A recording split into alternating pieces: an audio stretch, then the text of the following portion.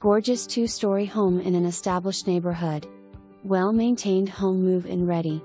This home features a covered front porch and partial stone columns with stone accent walls around the front. Entryway with beautiful chair rail, crown molding and trim work throughout. Separate office on first floor with coffered ceiling and a large open family room with stone fireplace.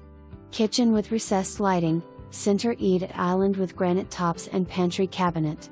First floor owner's suite with tray ceiling, huge walk-in closet and private bathroom with separate shower and garden tub. A bedrooms and bath on second floor. Private backyard with covered back porch plus a concrete pad. Two car attached front entry garage.